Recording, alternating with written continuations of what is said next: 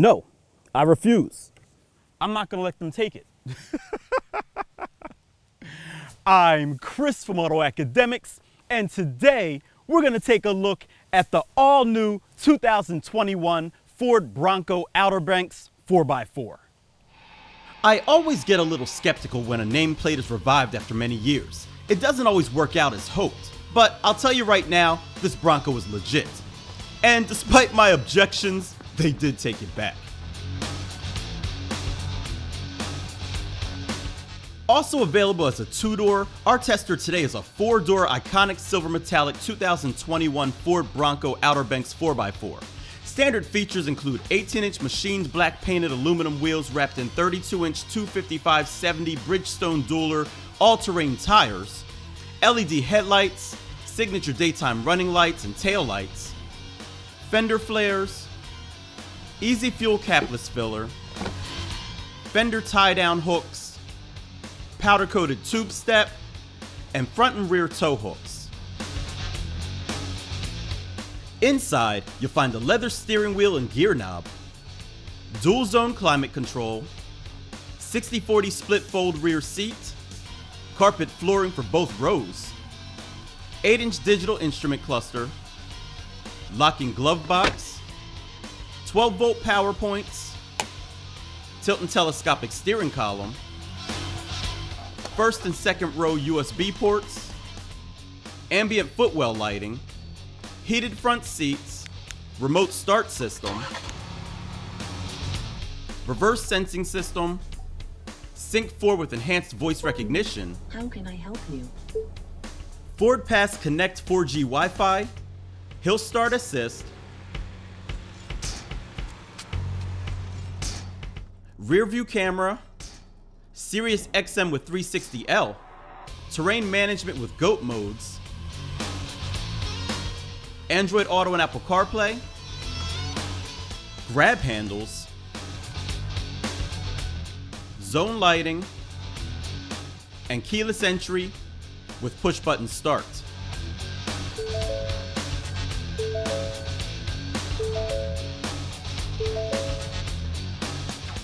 Safety features include plenty of airbags, rear seat reminder, and Ford Copilot 360 that includes auto high beams, BLIS blind spot information system, pre-collision assist with pedestrian detection and auto emergency braking, lane keeping system, and rear cross traffic alert. Now for the options that consist of the high package that adds the 12-inch LCD center stack touchscreen, 360 degree camera, additional sound deadening, forward sensing system, LED approach lamps, and LED spotlight. The Lux package provides adaptive cruise control, B&O sound system with 10 speakers including subwoofer, heated steering wheel, smart charging USB ports, connected built-in navigation, and wireless charging pad. This truck also has the 427 locking rear axle, HD modular front bumper, front steel bash plates, towing capability,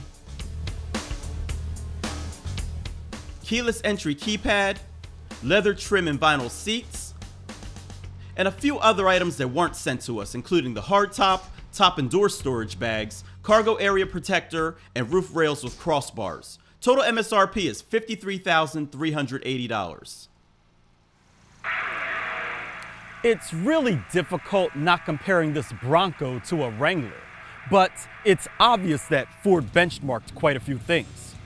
While the Outer Banks trim is configured more towards daily usage than traversing Baja, it's still very well equipped with 32 inch tires, 8.3 inches of ground clearance, steel bumpers and bash plates, and skid plates for the engine, transmission, transfer case, and fuel tank. And for those who want more, there are over 200 factory backed accessories available too. The doors and soft top roof can be removed as well.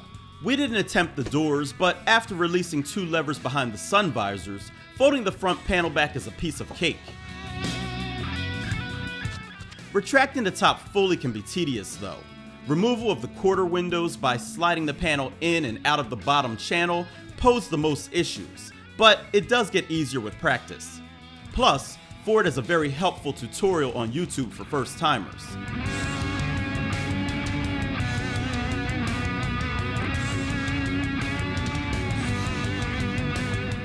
The panels easily store and back, and once it's all done, it looks sick. Be sure to take your time as you put it back together because any gaps in the panels can make for very noisy commutes.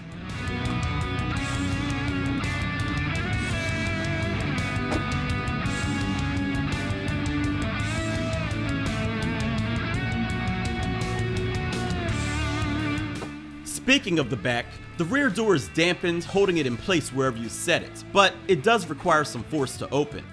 The rear window can be raised and anchored in place, and once inside, you're rewarded with 38.3 cubic feet of cargo space. Fold the 60-40 split rear seats and you get a total of 83 cubic feet in all.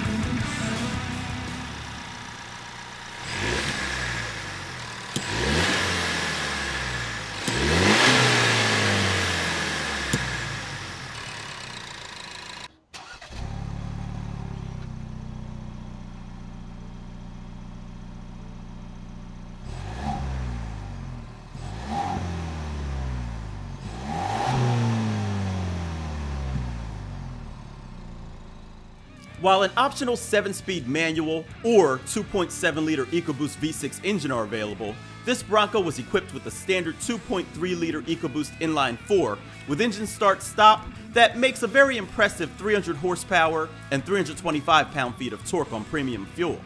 It's made it to a 10-speed automatic transmission that sends power through a Dana 44 AdvanTEK 427 solid rear axle. Max payload is 1,370 pounds with a max tow rating of 3,500 pounds.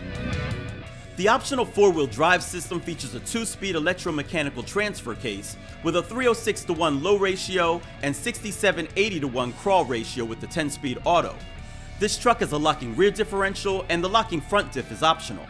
Trail control is present as is trail turn assist and all of this can be controlled independently or via the GOAT modes where you can select between normal, eco, sport, slippery, mud and ruts, and sand. Max approach and breakover angles with the 35 inch tires are slightly less than the Wrangler at 43.2 degrees and 26.3 degrees. Departure angles are the same at 37 degrees.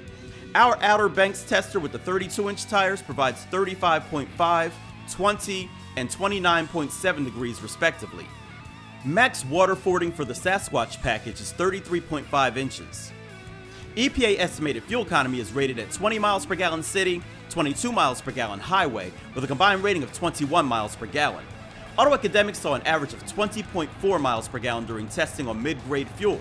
And while regular fuel is accepted, premium fuel is recommended for best performance.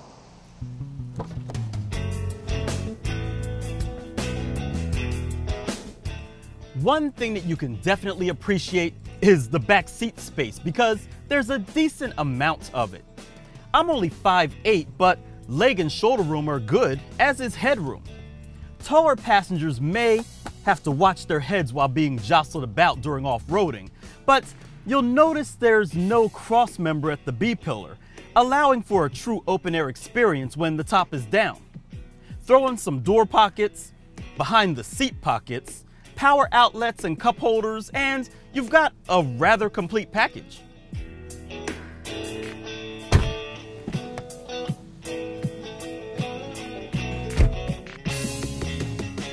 The cockpit of this Bronco is designed with function in mind, as well as a bit of style too.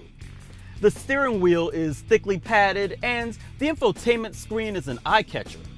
Sync 4 works well, but I wish the instrument panel could be configured a bit differently.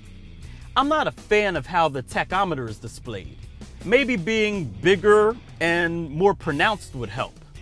I was worried about these seats as well because they look as flat as the Mach-E's, but that was unwarranted because they actually feel fine and they look good too. The buttons and knobs are all rubberized in case things get messy with the top off, and there are plenty of places to hold on to if needed. Some are flimsier than others, but they're there. Finally, the B&O stereo sounds fine, but the bass is lacking, struggling at the low end, and can be easily overwhelmed. But overall, it's strong with plenty of power for when the roof is off. So now that we've addressed all that, it's time to take it out and see how it drives.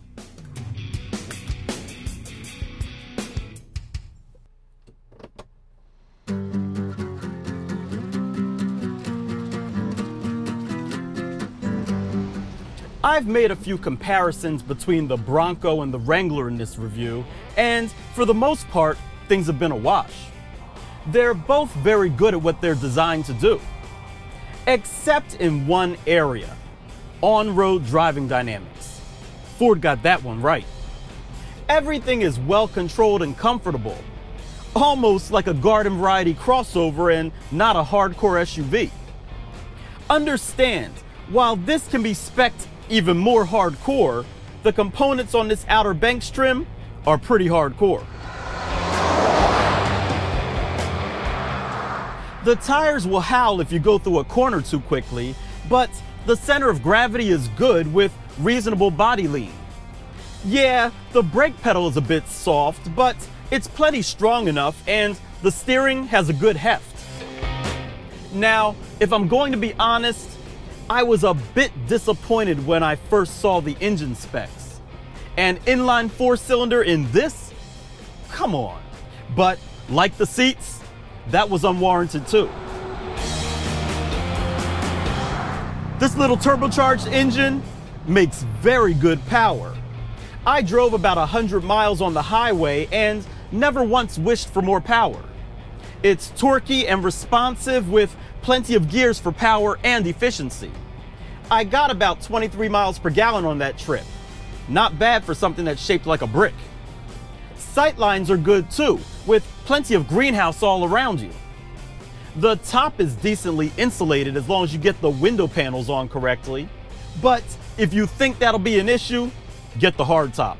Although there's nothing like driving with the top fully off. Sadly, I wasn't able to take this off-road, not like I did the Wrangler, but from what I've seen and read, it's just as glorious. And while it took me a few days to get used to driving the Rubicon, which I explained in that review, I had no such issues with this Bronco. Call it blasphemy, but I just had a Jeep odor give me the wave.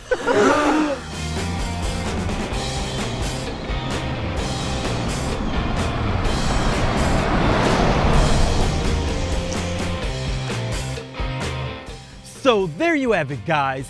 The all new 2021 Ford Bronco Outer Banks 4x4. It's obvious what Ford benchmarked for this truck. And I've got to say, for an iconic nameplate that's been revived, they did a good job with it. As always, if you like this video, or off-roading in general, give it a thumbs up and let us know if you're in the Jeep camp or are down for Team Bronco in the comments section below. Finally, if you haven't done so already, by all means subscribe and hit that bell icon so you don't miss what we have coming up next. I'm Chris Auto Academics. Thanks for watching.